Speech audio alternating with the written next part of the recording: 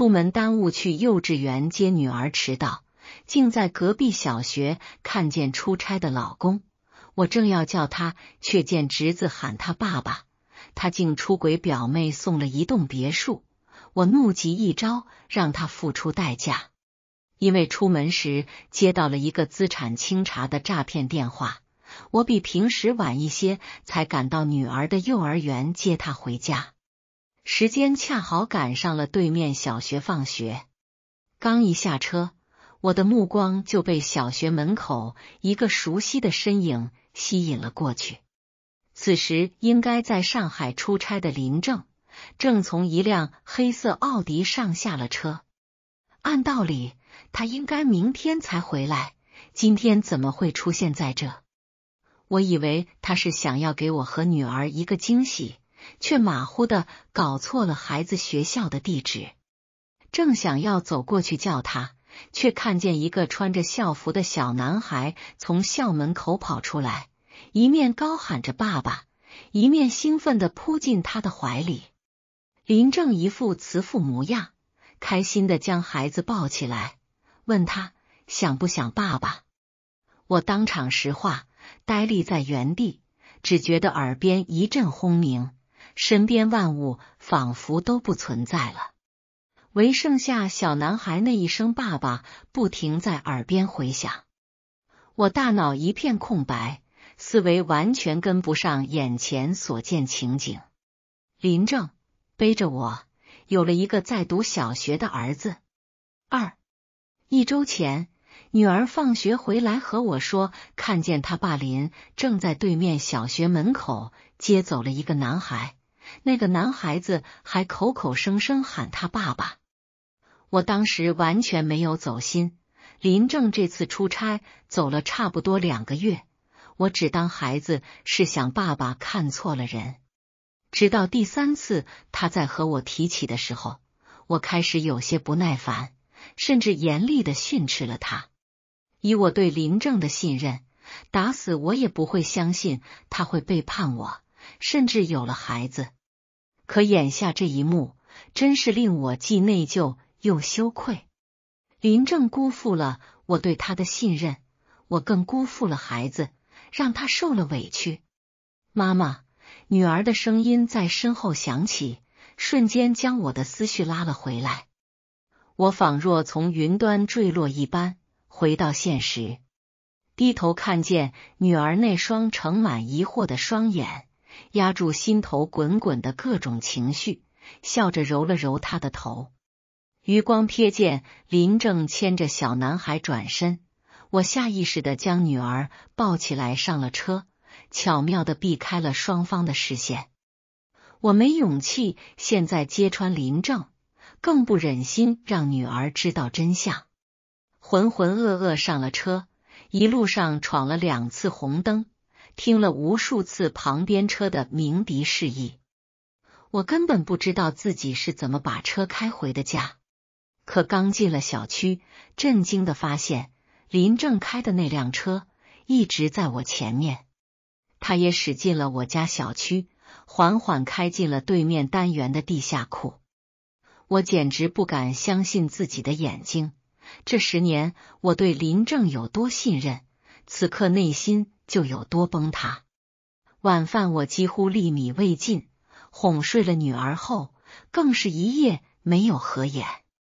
我和林正结婚十年。女儿才刚五岁，可那个口口声声喊他爸爸的男孩子，穿着小学生的校服，起码七岁。若真是他的私生子，那岂不是才结婚不久他就背叛了我？我只觉得胸口一阵闷痛，喉咙处一股腥甜味翻涌上来，不敢再往下想。三林正生意上遇到了巨大挫折。负债过亿，他请的律师给出专业建议是：我们先办理离婚，以确保部分财产安全。我们结婚十年，患难与共，白手起家。我毫不犹豫答应了这个离婚不离家的办法，要与他携手共度难关。但昨天的一幕让我不得不深思。经过一夜的辗转难眠，我决定在查清事情真相之前，拖慢林正和我办理离婚的进程。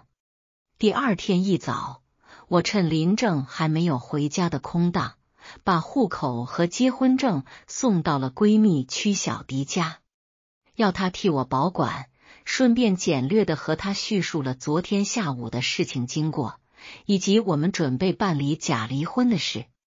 小迪根本不信，甚至怀疑我看花了眼。别说小迪不信，恐怕熟知我和林正的所有人都不会相信。林正相貌平平，出身平平，唯一的优点就是憨厚老实。当年正是因为他的憨厚和老实，才在一众追求者中脱颖而出，被我父母看中。二老苦口婆心劝我放弃了颜值更高、能力更出众的段安俊，选择了他。原因是其貌不扬的人更不容易背叛婚姻。结婚后，林正确实对我很好，又很努力上进。十年间，我们通过共同的努力，把家里的生意做得风生水起。我对他极其信任。从未想过他会背叛我，所以我心中还是存在幻想的，希望一切都是误会。但是公司危机要离婚保资产这件事本身就很耐人寻味。事情可以往好的方面想，但要以最坏的结果做打算。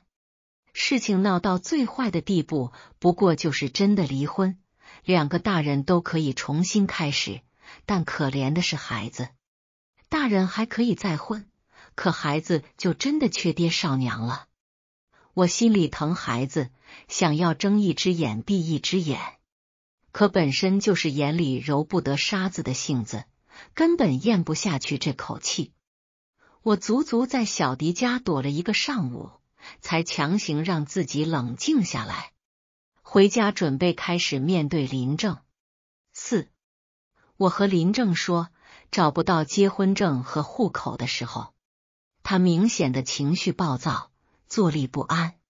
他握着我的手，状似深情：“阿桑，你再好好找找。咱们如果不能快点办理离婚，就什么都保不住了。若是离婚分割财产，我能保住的是不是只有现在住的这一栋房子？”我开口反问。按照先前的计划，我放弃夫妻共同财产，只要求留部分不动产。但冷静下来后，我才发现这里面漏洞百出。他根本是在和他的律师盘算着怎么让我净身出户。林正神色一滞，有些支支吾吾。他什么也不用说了，答案呼之欲出。我觉得一阵晕眩。看着眼前这张熟悉的脸，变得无比陌生。近两年，林正总是以生意往来为由频繁公出，身边不少人都提醒我要多加注意，小心被绿。但我对林正的人品很有信心，从来没想过他会做出什么不轨之事，对大家的忠告充耳不闻。可眼下。确实有些啪啪打脸了。我几次想要问他昨天在哪儿，那个小男孩到底是谁，他的妈妈又是谁，为什么要背叛我？特别想跟他歇斯底里，但最终都控制住了。他要真是处心积虑想要骗我离婚，算计我的钱财，那根本就是和我一点夫妻情分也没有了。女儿可以没有爸爸的爱，但如果连钱都没有了，大概是很难健康快乐长大了。我痛定思痛，决定不再自欺欺人，追查真相，保护自己也保护女儿，更要林正为自己的背叛付出代价。我一面拖着林正不去办理离婚，一面密切关注他的举动。果然不出三天。他又借口出差不再回家。这次我特别留意了他的去向，在他出差后的第四天，终于看见他又开着那辆奥迪回了对面楼。与此同时，我也出了高价，聘请私家侦探调查他。几乎是在他踏入对面楼的同一时间，我的手机连续震动了多次，微信收到了一连串的信息。打开后是私家侦探阿 K 发过来的照片，照片里有林正，有那个我见过的小男孩，还有一个正怀孕、挺着大肚子的年轻女人。最后一张照片清晰的拍到了女人的容貌。在看到那张脸的瞬间，我的头几乎快要炸开了。五，对面的女人身量不高，因为怀孕身材臃肿，一张圆脸，五官寡淡，但神色里透着柔弱和质朴。这种质朴的神色和林正如出一辙。当初第一次见到他的时候，我觉得这是血亲之间刻在基因中的相似。如今看来，倒也未必。我已知的他的身份是林正老家远房的表妹，叫王蕊。我们结婚之前，这表妹突然从老家来投奔他。我和林正拿了钱出来，供他读了夜校，学的会计。他也很努力，后来考上了从业证书。我又托关系找人帮他在某国企下设的厂子里谋了一份出纳的工作。几次碰见过他的同事，都对他的人品和能力表示赞同。我一直对王蕊的印象很好，那段时间常常请他来家里吃饭，送过他很多小礼物，把他当成自己的亲表妹一样对待。后来，林正说他和一个夜校的同学谈了恋爱，没多久，两人就谈婚论嫁。他辞了工作，去了对方老家。当时知道他结婚，我还让林正给他封了一个大红包。多讽刺！我很可能用钱和善心帮助情敌走上了人生巅峰。察觉真相后，再顺势推敲过往。后知后觉的发现，早就有蛛丝马迹提醒我，王蕊其实就在身边。大概在半年之前，楼上住户漏水淹了我家，我几次敲门都没找到人，最后没有办法，只能找到物业，让他们提供业主名单。当时确实在名单上瞧见了一个熟悉的名字——王蕊。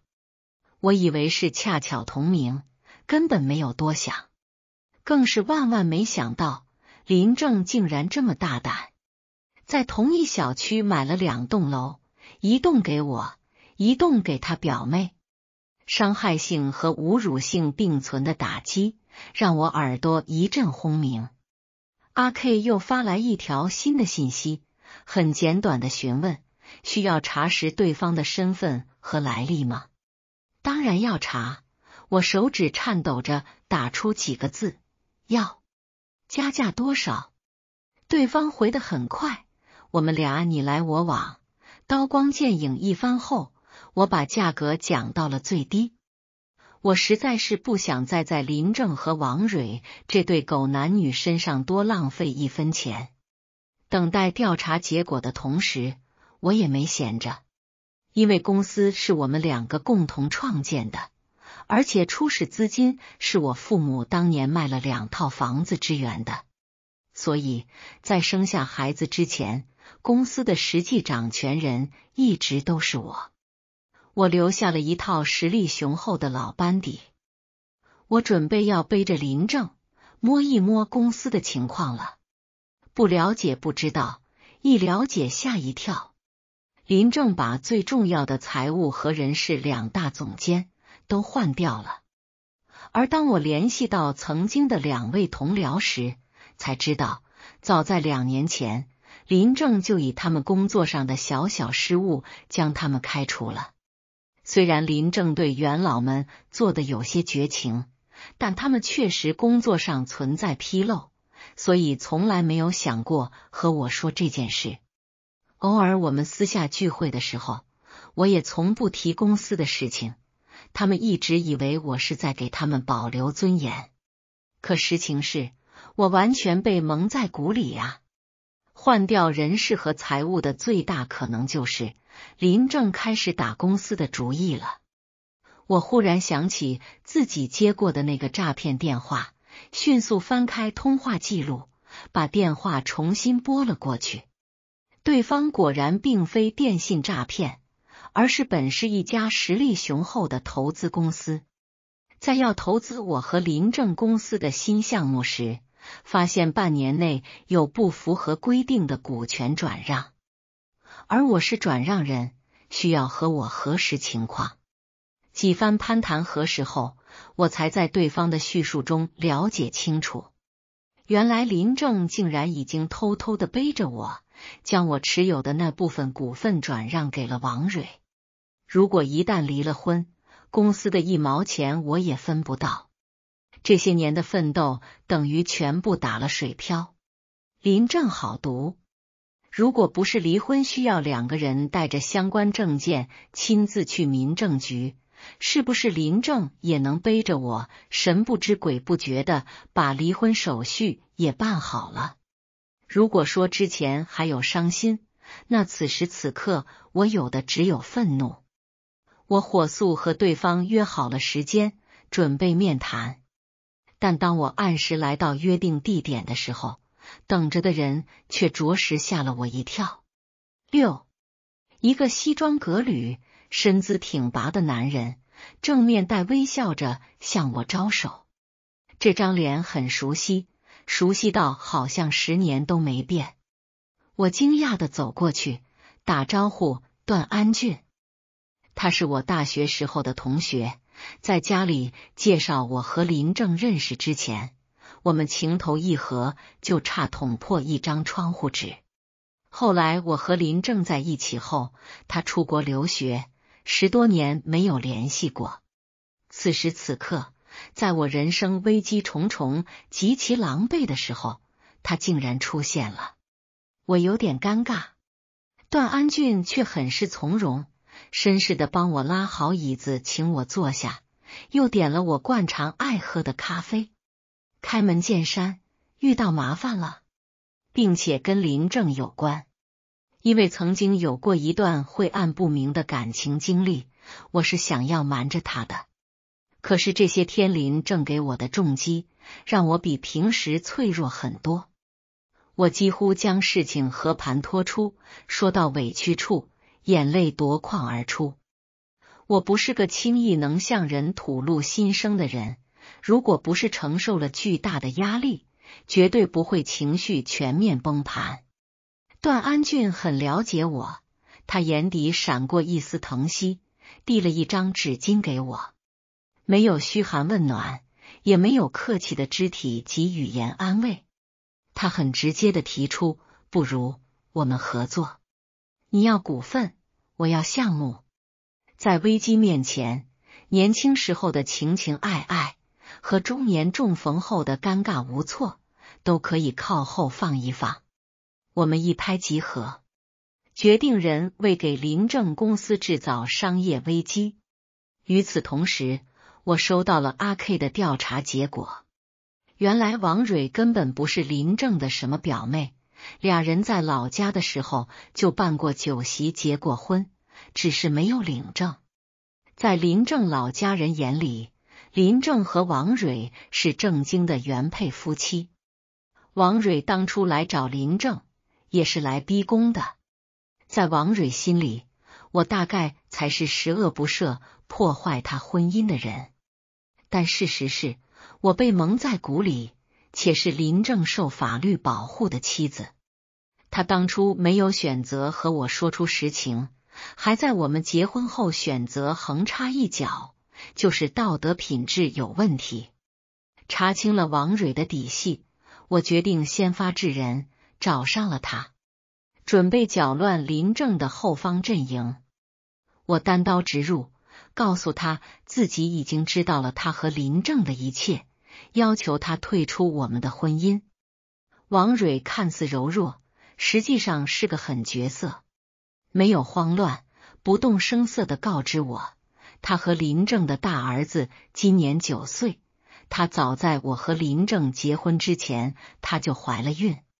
言语之间多处暗示我林正跟我没什么感情，不过是想借由我在大城市立足而已。我如果深爱林正，且真心为了挽回婚姻来找他，这一回合早就被他打得体无完肤了。我并没有想要真的跟他一决高下，没有顺着他的情绪引导，反而是迅速反攻为守，摔门就走。据阿 K 的前线一手消息，当晚林正回去后，两人爆发了激烈的争吵。王蕊大概是觉得胜券在握，在我的刺激下，要抓紧逼宫上位了。林正到底是有头有脸的成功人士。婚变丑闻，他可未必吃得消。王蕊一闹，林正势必起逆反之心。而且我还掌握了更新的消息：成功人士林正的身边一直不乏年轻貌美的新人，和他浓情蜜意的年轻姑娘不在少数。林正对王蕊未必有多深的感情，而王蕊能拿捏林正的。只有孩子，林正家重男轻女，王蕊生的儿子就是他的尚方宝剑。而下一步我要做的就是夺剑。七，我和段安俊一直联系的很频繁，除了微信和电话，几乎隔两三天就会见面。我们同专业，并且在相同领域工作，从调查公司财务状况。到研究新项目方案，配合十分默契。又因为我林太太的身份，能够顺利拿到很多内部资料。我和段安俊在很短的时间内便制定好了一套方案。很快，林正公司面临了资金链断裂的危机。他整天焦头烂额，是真的天天加班到深夜，为了争取资金。各种陪客户喝酒，各方面打点。在他特别忙碌的时候，我却连续三天选择孩子们上学的时间登门拜访王蕊，目的只有一个：试图使他情绪崩盘，反复要求王蕊退出我和林正的婚姻，价钱他可以随便开。第一次和第二次，王蕊都算对我客气。第三次果然有些绷不住，讽刺道：“你以为我十年的青春是钱能买的吗？”我也是真的没想到他会说这样的话，回怼他：“那你以为我会把所有一切拱手让给你吗？”然后非常优雅从容的给了他一记耳光。王蕊的皮肤很白，虽然相貌平平。但怀孕时期的皮肤状态和精神状态看得出来，是长期养尊处优下才能达到的良好程度。林正大概是给了他很优渥的生活条件，也给了他足够的关怀和爱。我绞尽脑汁赚来的钱，成了供养这个女人做阔太太的资本，换谁心里都不平衡。王蕊被我打得有些恼羞成怒，懒得再跟我虚与委蛇，干脆亮出獠牙。你如果喜欢待在这个名存实亡的婚姻空壳里，我可以让步。十年都过来了，我不是等不了。说到关键处，还不忘挺一挺自己的肚子。十年里，大多数时间郑哥都跟我在一起。你不过是个图有名、分守着空房子的怨妇罢了。我像是被气坏了一样，又甩给他一记耳光，然后离开了。难怪他会做出这样恬不知耻的事情，原来是思想里还残存了男尊女卑、母为子贵。真的喽，跟他在这一番对垒，更加剧了我想快点摆脱他们独自美丽的想法。王蕊在我这吃了大亏，绝对不会善罢甘休。他一定会加快逼迫林正结婚的步伐。而此时的林正面临着巨大的商业危机，应该无暇顾及他。以前王蕊是花解语，是温柔乡，那是因为他需要蓄力等待时机挤掉我这个正室。可眼下他觉得事情已经暴露了，且资产已经大部分转移到他手里，胜券在握，未必能够再陪着小易等着林正，大概会和林正闹。林正正面临开办公司以来最严重的商业危机，此时情绪焦躁，一定会觉得王蕊无理取闹，和他产生隔阂。果然，事情不出我所料。从前林正回家的时间很少，应该都是回了王蕊的家，而最近每次深夜烂醉后，不管多晚，他都要回到我家。我采取和王蕊完全相反的策略，忍着心里的厌恶，开始悉心照料林正，照顾他的身体还有情绪。我们两个甚至连夫妻生活都开始变得频繁起来。他单方面肉眼可见的感情升温，这种状态足足持续了一个月之后，我开始询问他公司的情况。他正是苦闷不堪的时候，毫无防备的将困境和我说了出来。我提出要重回公司帮他扭转局面，他却慌了，毕竟他还需要掩盖已经转移股份的实情，于是支支吾吾。当初我就答应你要养着你，让你享清福，现在怎么能让你再为了我重出江湖？去商场厮杀呢？我林正不是言而无信的人。他抱着我，语气温柔，这种浓情蜜意让我遍体生寒。一个人的多虚伪，才能在这样夫妻情深的外表下藏着狼子野心？虽然心里很不适，可我还是给了他极大的支持和鼓励。大概是真的有被我打动。他对女儿也明显比从前上心很多，有空的时候已经开始辅导女儿的功课了。看似家庭和睦之下，其实夫妻两人各怀鬼胎。段安俊告诉我，林正通过中介在林氏买了一栋别墅，并且开始张罗着卖掉王蕊现在住的这套房子。八，我简直要惊掉了下巴。林正要转移王蕊了，那我之前这段戏岂不是白演了？我忧心忡忡。段安俊的目光却落在了我脖颈间一片可疑的红痕上，眼神暗了暗。你们夫妻关系缓和了？我下意识的捂住了脖子，莫名觉得有些羞愧，半天没回出来话。段安俊自嘲了，笑了笑。我以为经过这场变数，你多少会成长一些，有自己的主见。之前我听从父母安排嫁给林正，段安俊知道的时候曾找我谈过，当时我对他口中所说的爱情一无所知，我只觉得婚姻要的就是安稳。父母都是过来人，为我选的一定是合适的。所以我几乎没有跟他好好谈话，也完全没有自己的主见。但经历过这次婚变之后，我明白了，人生就是处在变数之中，婚姻也是。我应该对自己的人生有自己的看法，对婚姻也是。但在段安俊看来，我仍然和林正过着正常的夫妻生活，便是想要将就过下去。我心里有一些微妙的感触，面对段安俊，竟然有一种偷腥的愧疚，似乎此时在我心里，他和林正已经调换了位置。我看得出段安俊很不高兴，但还极力表现出平静。你要多为自己和孩子做打算。我是一定会和林正离婚的，只是不是现在。我赶快说，密切关注段安俊的神情。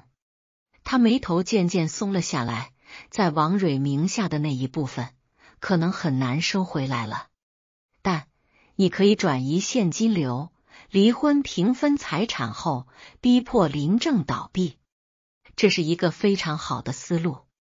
偷偷转移资金的同时，我开始游说父母搬去大哥所在的城市，也拜托大哥替我在他那边看看房子，商讨商业转移。我准备了一肚子话，试图掩藏婚姻真相，但是大哥什么也没问，有条不紊的帮我准备着，甚至在我没有提出的情况下，也为我女儿找合适的学校。我已经开始准备后路了，但林正完全没有察觉。很快，王蕊临盆，挣扎一天一夜后，又生下了一个儿子。林正再次借口出差，其实是跑去照顾他们母子。我安排好了阿 K 取证，自己则整装待发，要去医院会会这一家四口。透过房间的窗子，正好能瞧见林正端着一只碗，在细心的哄着王蕊喝汤。王蕊脸色不太好，表情也带着那么一股焦金。盲猜是因为又生了儿子，认为自己拿捏了林正。我推门进去，最先看见我的是王蕊，他表情有一瞬间的错愕，转瞬便挂上了一副胜利者的得意，颇为挑衅的看向我。林正转头，目光对上我的时候，完全慌了，手里的碗没拿住，掉地上碎了，啪嚓一声。清脆响亮，表妹生孩子，你怎么不通知我？我像没事人一样，把手里拎着的礼品盒子放在了床头柜上。林正支支吾吾，大概是在搜肠刮肚，想怎么搪塞我。王蕊冷笑一声，大概是鄙夷我揣着明白装糊涂，但也没有接话。我看了看一旁婴儿床上躺着的小不点。可爱的皱皱巴巴，我没经过王蕊的同意，走过去把孩子抱了起来，一副喜欢的不得了的样子。林正在一旁十分紧张。十分钟后，我把孩子重新放了下去，坐在王蕊旁边，看向林正，解释解释。王蕊目光犀利，看向他，我则是一顺不顺盯着他。面对他的两个女人。他明显有些手足无措，话不成句，半天也没说清楚。我笑了，最近我和王蕊不是第一次见。林正震惊的完全合不拢嘴。我把发现林正去接孩子，到几次找过王蕊的事情都稍加改编叙述了一遍，很是伤心的问林正：“我们最近的恩爱都是假的吗？”你不是回心转意了吗？这句话完全挑起了王蕊的战斗神经，他嗖的坐起来，给了林正一个响亮的耳光。就你这个王八蛋，我给你生了两个儿子，为了你吃了这么多苦，你却背着我和这个女人恩恩爱爱。我就知道产后的女人是最脆弱的，任她心机再怎么深。此时此刻都是最难控制自己情绪的时候。病房里还有其他产妇和家属，此时围观吃瓜的群众都已经跌破了眼镜。林正颜面扫地，疼的站起来，上前拉我：“阿桑，我对不起你，但事情不是你想的那样，我不会抛下你和女儿。”他声音很小。但王蕊还是听见了，他赤着脚站起来，拉扯林正：“你什么意思？你不抛弃他，是要抛弃我吗？”林正面露尴尬：“抛弃我是抛妻弃子，舍弃他就是对两个儿子不负责任。他是真的挺难，但也真是活该。”我拍了拍他的手，以示让他稍安勿躁，然后上前。扶着王蕊重新坐在床上，地下凉。你不想生病，最好老实躺在床上。语气霸道生硬，但又透着人道主义关怀。围观者的目光都变了几遍。林正看向我的目光里也透着愧疚。王蕊被我气疯了，但我没有给他说话的机会，继续道：“你们虽然用表妹的身份欺骗我，在我眼皮底下珠胎暗结，但孩子是无辜的，我的婚姻更是无辜的。我不想撕破脸，但事情必须解决。孩子是林家的血脉，送回老家。”给爷爷奶奶带，我会给你一笔数额可观的资金，帮你找工作或者开公司。你离开我老公？王蕊冷笑。你以为我是生育机器吗？我挑眉，不然呢？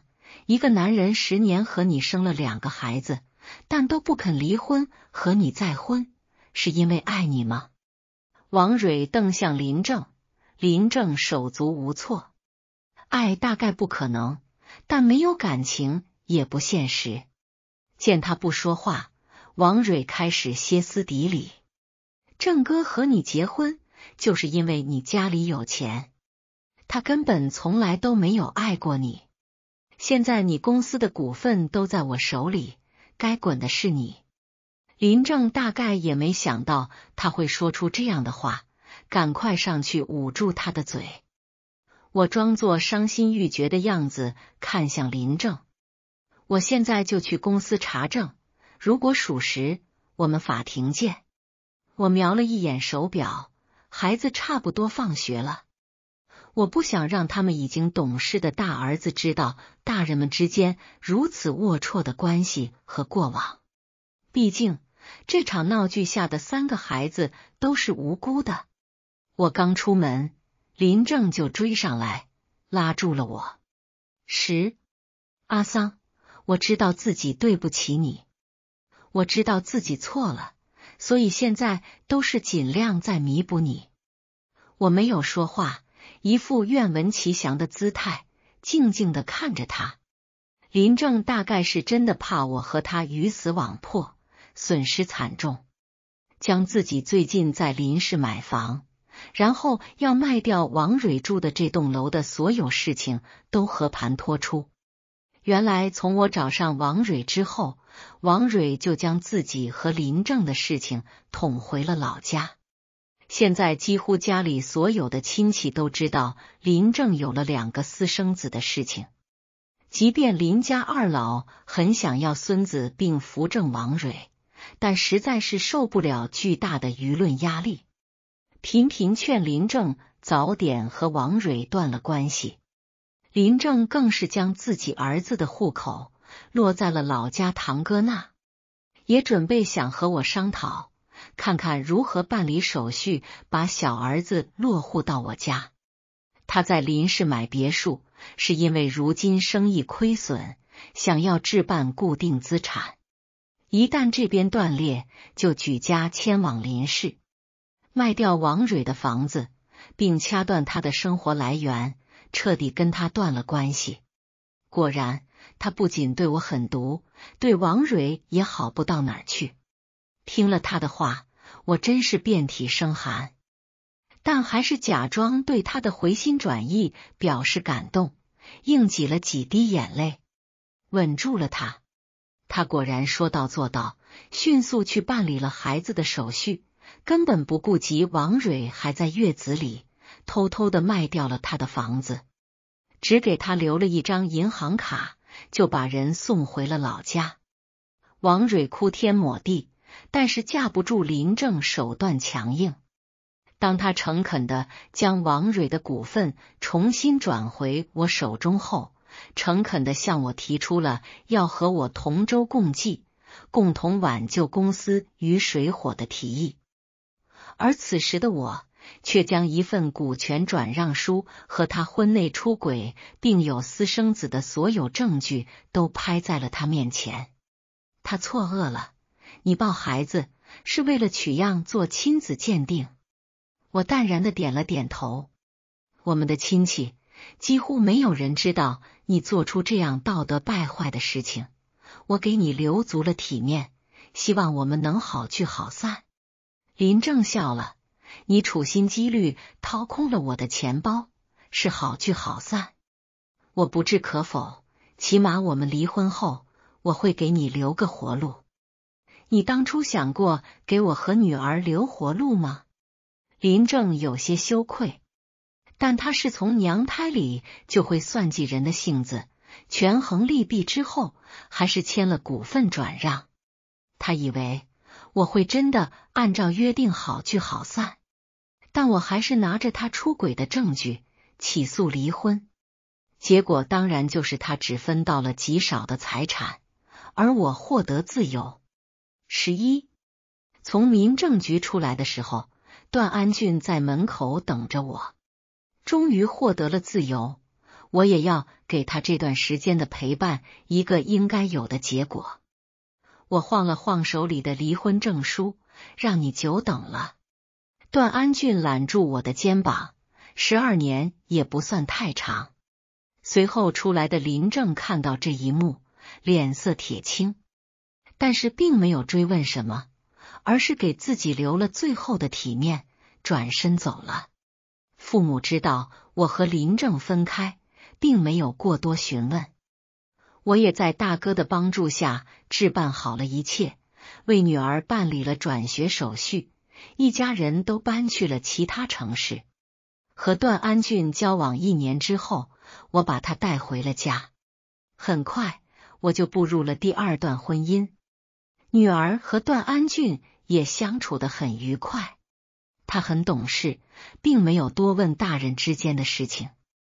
但每个月我都会送他回去看看他爸爸，到了假期也会去爷爷奶奶家小住。这些事情我从来都是支持他的。大人之间再多恩怨，都不能阻断孩子和血亲之间的关联。我和安俊婚后。很快在孕，有了一个健康可爱的儿子。女儿很喜欢弟弟，虽然是重组家庭，但我们四个人一直很幸福。离婚的时候，我给林正留了一笔足够他东山再起的资金，但他没有选择再踏入商场，而是根据自己的专业应聘到相关领域去，老老实实做了个打工人。闲暇的时候做些理财。在我有了孩子后，他也终于和王蕊领了结婚证。但听女儿说，两个人过得并不幸福，经常鸡飞狗跳。王蕊野心很大，一直想要的就是过上阔太太的生活。可林正显然已经没有了这种能力。我虽然给他留了一笔钱。但他和我的这段婚姻变故已经广为人知。他能为了自己的利益算计和他一起白手起家的发妻，大家对他的人品自有定论。业内自然无人与他合作，即便是做了打工人，也很难受到重用。他不可能再飞黄腾达了。妈妈，其实我很早就知道，表姑姑住在咱家小区。我也知道爸爸还有一个孩子，女儿出国留学前突然和我说，这么多年我一直以为自己将他保护的很好，他并不知道我和他爸爸之间的种种。我有些错愕。女儿笑着抱住我，妈妈，谢谢你一直这么保护我，也谢谢段叔叔一直把我当成亲生女儿一样。听了他的话。我忍不住泪如泉涌。婚姻变故中受伤的永远是孩子。即便我想尽一切办法保护女儿，但在她幼小的心灵里，一定还是留下了创伤。更不要说林正和王蕊那对总是受人指指点点的儿子。林正和王蕊受到了应有的惩罚，但孩子们也因此无辜被牵连了一生。虽然有些愧疚，但若要我再选，我还是会复仇。